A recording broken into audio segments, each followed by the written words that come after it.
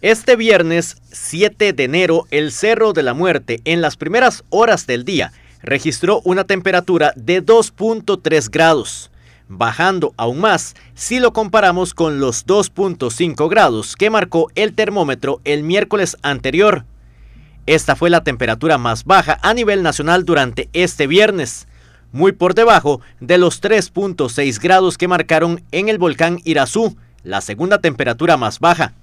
Según los expertos, estas temperaturas son normales en esta parte del país, zona montañosa que también tiene presencia de ráfagas importantes de viento.